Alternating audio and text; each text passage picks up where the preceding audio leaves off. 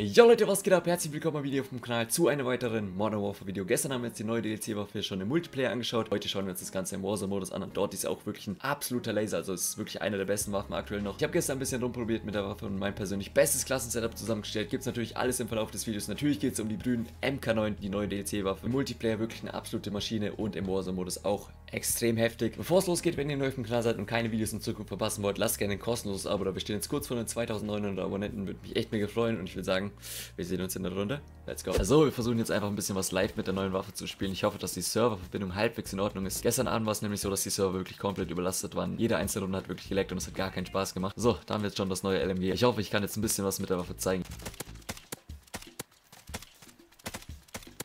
Die Waffe ist wirklich extrem stark. Man kann die Gegner wirklich gut damit lasern. Ja, das meine ich damit. Mit dem neuen Update ist ja auch dieser neue Kill-Auftrag Most Wanted rausgekommen. Eigentlich war dieses System davon eigentlich ganz gut. Allerdings haben sie dafür komplett die Kopfgeldaufträge rausgenommen, was schon sehr, sehr belastend war. Mittlerweile haben sie das wieder geändert. So, jetzt holen wir uns noch die MP7 als Zweitwaffe. Diese Kombi ist auf jeden Fall extrem stark.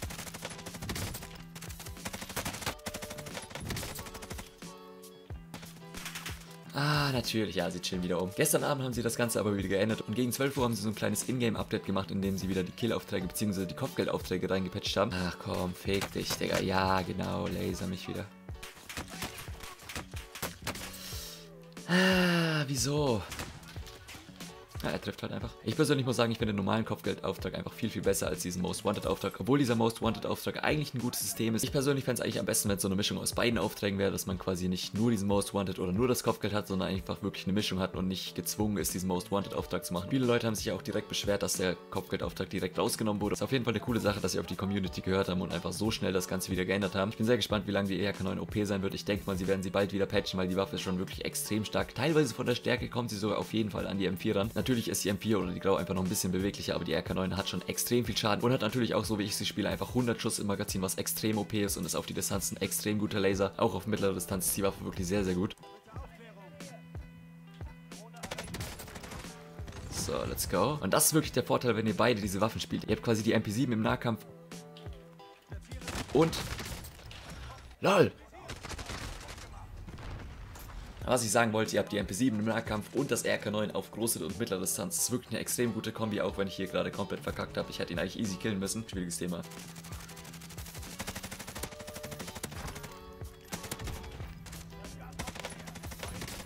Ah, es ist einfach so ein heftiger Laser, die Waffe.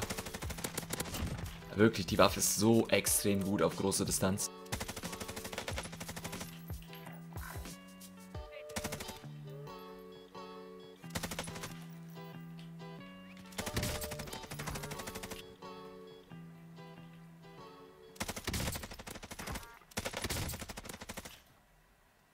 Glaube, das waren alle. Okay, das waren alle. Was? Ja, schwieriges Thema. Aber ich denke, man konnte trotzdem sehen, dass diese Waffe extrem stark ist, auch wenn wir jetzt ein bisschen Pech mit der Zone haben, beziehungsweise ich auch nicht so gut gespielt habe. So, nächster Versuch. Wie gesagt, ich zeige euch nach der Runde mein persönlich bestes Klassensetup mit der RK9. Das ist wirklich ein absoluter Laser, konntet ihr, glaube ich, auch ganz gut sehen.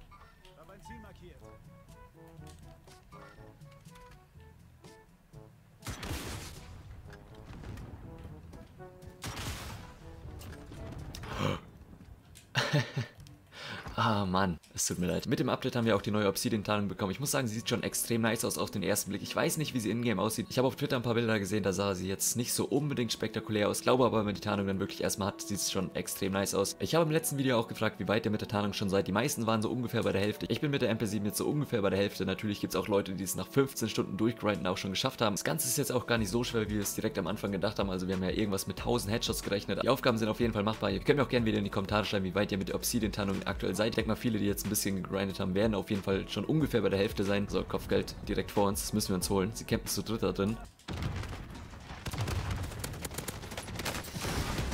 Ah, okay. Was? Da ist noch einer. Was? Hä? LOL. Ihn habe ich hier absolut nicht gesehen. Ich glaube, ich habe da jemanden gesehen.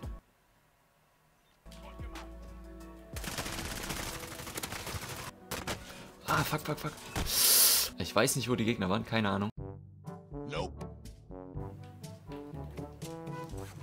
Komm, komm, komm, komm, komm. Ich hasse diese Endzone. Sie sind alle links und rechts von uns und werden jetzt einfach so heftig dryern. Ich glaube, wir werden es auch gar nicht überleben, hier hochzukommen, weil es einfach komplett Open Field ist. Ah, schwieriges Thema. Okay, ich hasse diese Endzone. Guckt euch einfach diese Endzone an. Alles Open Field. Jeder hat am Rand irgendwie noch sein Haus, wo er campen kann.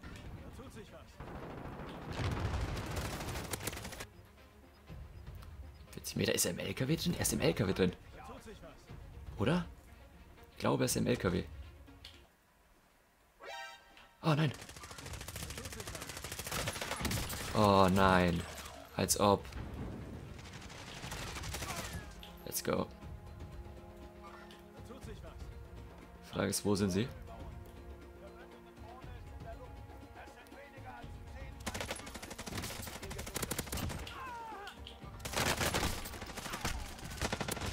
Noch einer.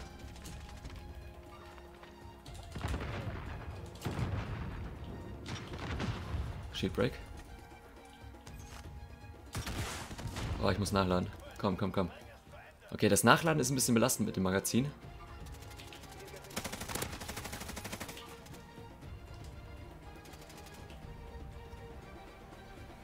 Ich sehe keinen. Ah, okay. GG's. Ich spiele zwar wirklich heute komplett schlecht, aber der Win ist da. Let's go. So, bevor es jetzt weitergeht, zeige ich euch erstmal meine persönlich beste Klasse in Warzone für die Brühen MK9. Also ihr habt gesehen, diese Waffe ist wirklich ein absoluter Laser mit einer der stärksten Waffen aktuell. Auf jeden Fall müsst ihr hier nebenbei den Aufsätzen bei der Mündung den Monolith-Schalldämpfer, wie gefühlt bei den meisten Waffen, die man in Warzone spielt, einfach für die effektive Reichweite und die Geräuschschalldämpfung, was sehr, sehr wichtig ist. Einfach, dass man nicht auf der Karte gesehen wird. Dann als zweites beim Lauf haben wir den XRK Summit 26,8 Zoll Lauf. Einfach wirklich ein extrem heftiger Lauf. Die effektive Reichweite steigt, die Kugelgeschwindigkeit steigt und die Rückschusskontrolle steigt. Also es macht die Waffe einfach nochmal viel, viel besser auf die Distanz. Dann beim Visier habe ich das GI Mini Rotpunkt-Visier. Wie gesagt, ihr könnt auch jedes Visier nehmen, was ihr wollt. Also ich persönlich komme mit diesem Visier eigentlich am besten klar. Dann beim Schaft haben wir nichts. Beim Unterlauf den Ranger Vordergriff. Theoretisch könnt ihr auch ein bisschen wechseln zwischen den Ranger Vordergriff und den ersten Schaft, den ihr freischalten könnt, den Fortstark Stalker Schaft. Wenn ihr das macht, seid ihr ein bisschen präziser auf die Distanz, aber da natürlich geht auch die Beweglichkeit noch ein bisschen nach hinten. Deswegen würde ich euch eher diese Variante empfehlen. Und als letztes haben wir das gemusterte Griffband einfach für die ZV-Geschwindigkeit und das Sprinten zum Feuertempo, was wirklich sehr, sehr wichtig ist. Meistens spiele ich das Ganze so, dass ich noch eine zweite Waffe dazu hole mit dem zweiten Loadout und zwar ist es die MP7, die wirklich im Nahkampf ein absolutes Biest ist. Klassensetup, Video habe ich dazu auch gemacht. Wenn ihr es checken wollt, checkt es gerne ab. Ich lasse hier oben eingeblendet sein. Testet das Ganze gerne, schreibt mir eure Meinung dazu in die Kommentare. Und wenn ihr jetzt noch Vorschläge habt, für welche Waffen ich in Warzone bzw. Multiplayer noch Klassensetups hochladen soll, schreibt mir auch gerne unten in die Kommentare. Und ich würde sagen, wir sehen uns wieder in Runde. Let's go. Den nehme ich mit.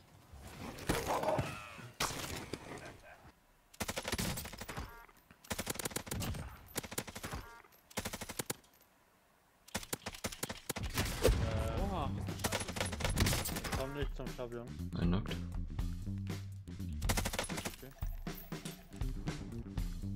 Beschäftigt die Klammer. Zwei Chaot. Hm, unten. Die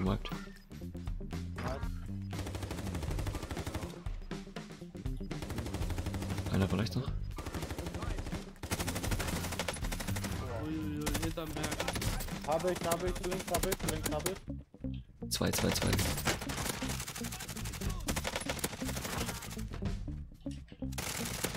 Hab einen noch.